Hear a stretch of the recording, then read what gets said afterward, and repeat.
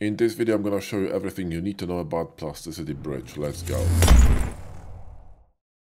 Now before we start, if you're serious about learning 3D, you should definitely join our Academy 2.0 program. It includes the full curriculum of educational materials and courses on bringing you from beginner to intermediate to advanced. In addition, we have a private community with weekly Q&A where you can ask us questions directly and get instant feedback. This is possibly the fastest way of learning 3D right now. Our Academy content is constantly improving. We're adding more content, more value to the offer. For example, recently we added a sub-D course for Blender which teaches you some new really valuable tools. And next is gonna be a really robust amazing plasticity course. So check it out link is in the video description. Now let's talk about plasticity bridge. There are two ways of bringing models from plasticity to blender. One of them i'm gonna mention very briefly it's exporting to obj file.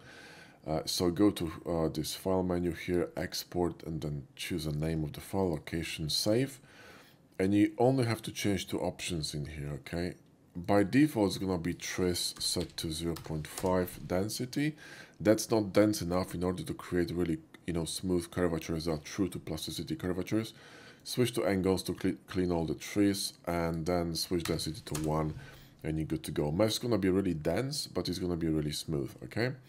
Then you got other settings in here but honestly they're the same as in the bridge. So we're gonna be talking about the settings when we're gonna be in blender and i'm gonna show you how, you know how to set these up so then press OK and it's gonna save an OBJ file. I'm gonna click cancel. And then in Blender, all you need to do is go to File, Import, and Import OBJ, and you're good to go. All right. So that's about that. Now let's talk about Bridge. First of all, you need to install Bridge because Bridge is an add-on for Blender. So go to Plasticity website. You can just Google it, Plasticity Bridge. The first page that comes up is, is you know, is the correct one grab this uh, file here. You can also get it on github. Download it and install just like an add-on okay? So go here to preferences um, to add-ons. Go to install install the add-on. Then simply check the box save preferences and you're good to go. Once you do that you should have plasticity add-on here on the end panel. So press n to expand the panel and you're gonna see this uh, option connect. Now, in order to connect to Plasticity, obviously you need to have Plasticity running, so turn it on and you can also check the port connection and all the details here. So make sure that this is actually matching, otherwise it will not link, and then simply click connect and you're good to go. Now when you want to bring your model into Blender, simply click refresh and wait a second or something and it's going to refresh. Now occasionally model is going to come twisted at 90 degrees on the x-axis. Just press Alt R to reset the rotation in Blender and you're good to go.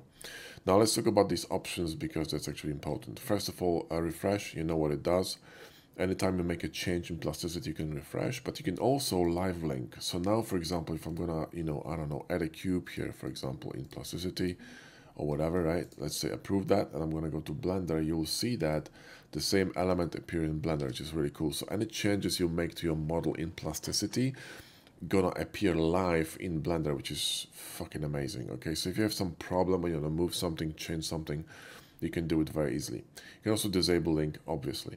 Now, scaling is quite important because Blender has a weird scaling. So if you bring something from plasticity, let's say you want to 3D print it, make sure that your scale is actually correct and you can adjust it over there and then you know refresh it and you're good to go now let's talk about these options because that's where the juice is okay the refaceting so now let's say that you wanted to refacet this mesh you know because you wanted to do something in blender with it so you know you can't work with this one um, even uh, you know according to my standards this is a fucking disaster. So and i can't give you specific settings but uh, i can give you a ballpark and you can work off of this because every mesh is going to be different because it depends on density ngons etc right so what i would do i would switch this to uh, you know to ngons here then go with the minimum value here um, 0 0.001 max value 0 0.1 go to angle uh, the edge angle 01 and face angle 01 now to break it down, uh, the ngon is gonna produce ngons and quads. Tris gonna produce just tris. Obviously, you want angles.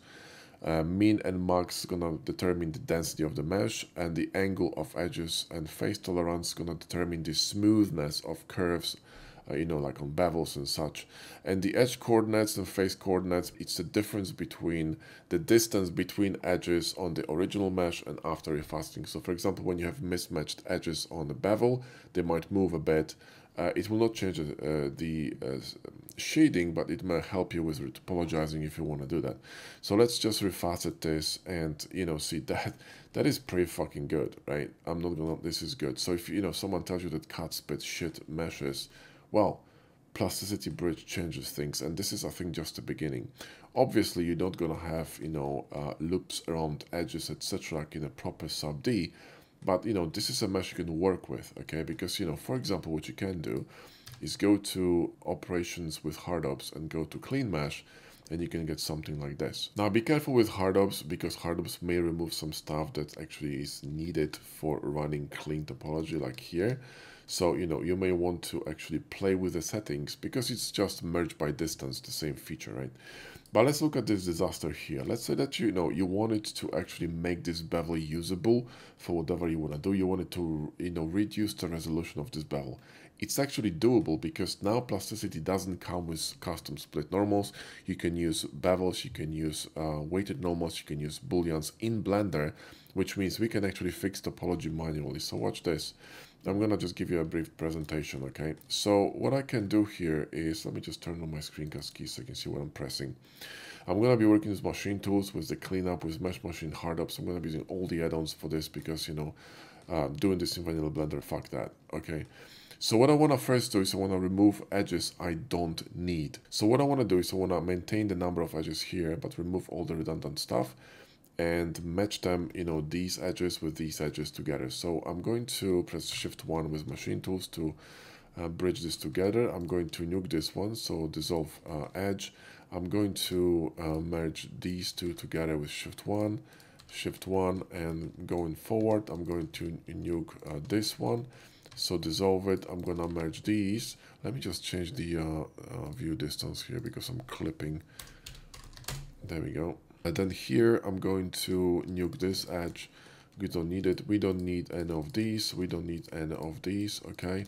And this is gonna mess with curvature because of course now it's a little bit of a mess. But what you can do, you can use the loop tools add-on to fix that. So enable loop tools. It's a bridge. It's a Blender native add-on go to uh, loop tools uh, here and space and it's going to evenly space all these verts between these verts two verts that hold the shading of the bevel between these two flat surfaces. So the, you know the shading will not uh, get ruined. It's gonna get actually fixed. So space them here then uh, combine these two here with one these two as well. We can actually even remove these because we don't need them. And then just simply keep fixing the spacing here. You can see what's happening slowly. We are fixing this uh, this bevel. So uh, let's go to loop tools and space then go here and uh, space and then go here and space right now the technique we're using in uh, game asset production is that what we do is we grab a bevel and we remove every second edge in between the um, you know the, the the holding edges the edges that hold the the curvature, which are these ones, this one and this one. But in our case, we have um, actually an incorrect number of edges, so we can't do it. We need to do it twice.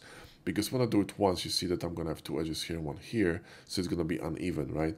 So I'm going to remove this once, I'm going to do one more time, right? Or what you could do is actually use spacing. So you could do either this or just use spacing. So let's just use spacing, okay? So let's go to vert mode, select these verts again, and go to loop tools in space go here and uh, you know space go here and space and go here and space right and you can see now that our bevel is actually of a much much smaller density. It's not as crazy as it used to be. And you, you know you would need to do it all the way down right? But uh, you can see you can see clearly what's happening. You know we we slowly getting this stuff fixed. We can combine these two as well and rerun the spacing again. So if you really wanted to run a proper cleanup, you actually can. So you can see that there's no problem with shading here. The shading holds, everything is peachy because we were using mathematical equations to fix this, okay? And you can compare this bevel, right, this mess here, to this one, and this looks very much like done with Blender.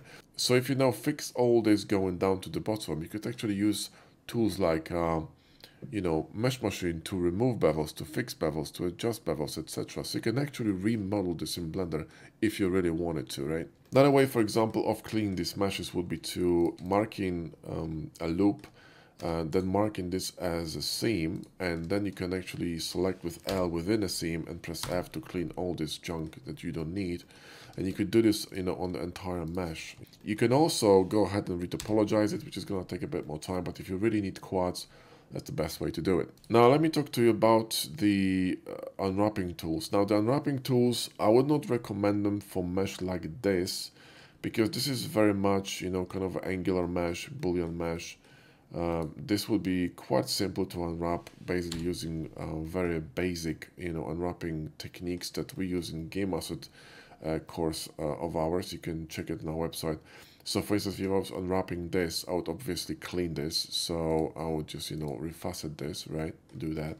So now here, what we need to do is we need to select all these uh, sharp edges and mark them as sharp. I wouldn't be using these tools, honestly. I would be just going to select select sharp edges and then simply mark seam. So all the sharp edges are going to get marked as seam. And then all you need to do is simply, you know, break these shapes into smaller ones, right? So again, if you got this kind of a disaster of a bevel, you need to clean up the way I showed you. But you know, you can just break them up in parts like this with seams. And then when you unwrap this, it's going to unwrap pretty cleanly. Now, when you actually working on organic mesh, that's a different story. So let me just change a mesh here. This is a bit more complicated, even if I um, if I refacet this. If you wanted to select, uh, you know, some of these edges will be very tricky, right? So what you can do, you can actually go to rendered view and you can paint plasticity faces. This is fantastic because what I can do is select specific faces like this face and let's say, I don't know, uh, this face and I'm gonna, you know, select plasticity uh, faces.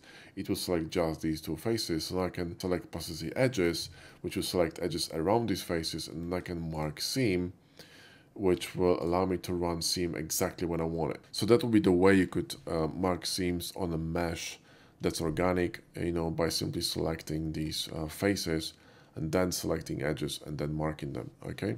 So that's it about plasticity bridge. In a nutshell, if you are working on a more angular mesh, just bring it in and fix it manually. You don't have to retopologize it really. It's gonna take some time to fix it, but hey, uh, you know, it is what it is. Uh, if you're gonna bring organic mesh, it's a bit of a bastard. You may need to retopologizing if you really need quads but I still think it's quicker than building stuff from scratch using SubD in Blender and also it's a bit more precise because plasticity is using mathematically correct connections and curves and all that. You can bridge stuff, you know. Um, uh, and in Blender, you're moving verts, so you're kind of eyeballing shit. So if you want to be really precise and have really, you know, clean A-class surfaces, you just can't beat CAD software, okay? So I would rather do that and uh, you can always, like I said, retopologize it. You can shrink wrap it to your mesh and you're good to go. Uh, so if you want to create game assets this way, I think it's the best way to do it. And in Angular mesh cases, you simply grab a mesh. You can fix it if you want to. You can always drop the topology using refaceting to the minimum amount, you know, of topology that allows you to still retain the clean curvature and then simply fix all the issues and you're good to go. So yeah, in a nutshell, these settings are very situational, so you're gonna have to play with them and see what works for you. But I think that's it for the bridge. That's all you need to know. Thanks for watching. See you in the next one.